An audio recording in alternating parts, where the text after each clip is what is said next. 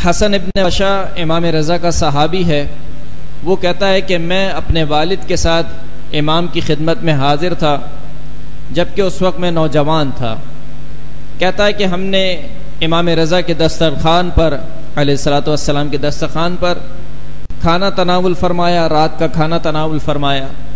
फिर उसके बाद इमाम ने मेरे वालिद से इशार फरमाया कि लत खमसिन व इशरून मिन दिलकदा लत खमसिन व इशरीन मिन दिलकदा वलिदा फ़ी इब्राहीम अलैहिस्सलाम व वलिदा फ़ी व वलिदा फ़ीहा ईसब मरियम अलैहिमुस्सलाम शब पच्चीस ज़िलक़दा। शब पच्चीस ज़िलक़दा वो रात है कि जिस रात में हज़रत इब्राहीम अलैहिस्सलाम की विलादत हुई।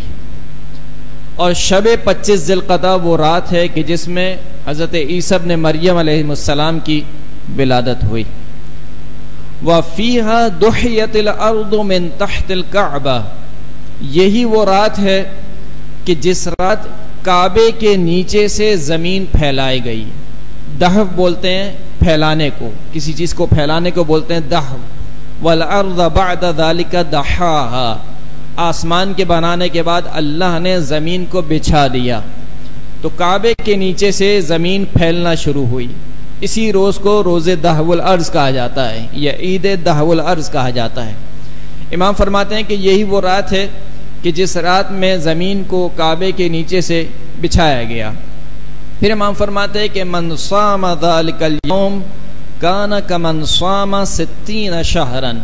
जो शख्स इस दिन रोज़ा रखे यानी पच्चीस जिलकदा को। जो शख्स पच्चीस जिलकदा को रोज़ा रखे, गोया ऐसा है कि उसने साठ महीने रोज़े में गुजारे हों। साठ महीने यानी तकरीबन पाँच साल, यानी पाँच साल उसने रोज़े में गुजारो एक सलाद पढ़े, मोहम्मद वाल मोहम्मद पर। मौलाई कायनात अमीर उलमिन अली इब्न अबी तालिब सलाम से रिवायत है। इमाम फरमाते हैं कि अव्वल रहमत नजलत मिन समाए फ़ी खमसिन व इशरीना मिन दिलकदा फरमाते हैं कि पहली वो रहमत जो आसमान से ज़मीन पर नाजिल हुई, वो 25 जिलकदा, यानी जिलकदा की 25 तारीख को नाजिल हुई। पहली रहमत जो नाजिल हुई।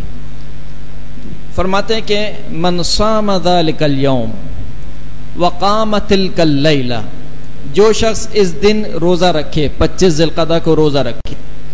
वक़ामतिलकल्ला और शब 25 जिलकदा को इबादत में गुजारे। कामा यानी इबादत में गुजारे। फलहू इबादत मियत सनतिन। तो गोया ऐसे है कि उसने सौ साल अल्लाह की इबादत की। कैसे सौ साल? सामा नहारहा वकामा लहा ऐसे सौ साल कि जिन सौ साल के दिनों में रोज़े रखे हों और रातों को इबादत में गुजारा हो। ऐसे सौ साल। फिर इमाम फरमाते हैं अयुमा जमाअतिन इज्तमाअत दालिकल यौम फ़ी ज़िक्रिल्लाह, लम यतफर्रकू हत्ता युअतौ सुअलहुम फरमाते हैं कि कोई भी जमात इस दिन 25 जिलकदा के दिन।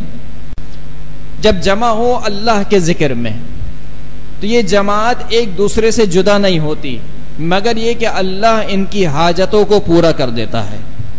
यानी इनके एक दूसरे से जुदा होने से पहले ही अल्लाह इनकी हाजतों को पूरा कर देता है। एक सलाद पढ़ दिए मोहम्मद वाल मोहम्मद।